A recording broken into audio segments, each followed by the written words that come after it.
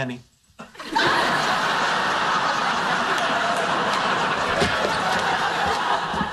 What? Yeah, we came to talk to Zack. Hey, Zack. What do you want? Listen, uh, the stuff we were saying before, we were just kidding around. No, you weren't. You were making fun of me. Come on, it's what we do. We give each other a hard time. Hey, Sheldon, you look like a praying mantis. That's very hurtful. See? I don't know. Still wasn't very nice. Milk Dud? Oh, I love Milk Duds. Okay, we're cool. Junior mints. You guys want to come in and have a beer? Uh, we're on our way to the comic book store. So. Leonard's buying. Really? I haven't been to a comic book store in literally a million years.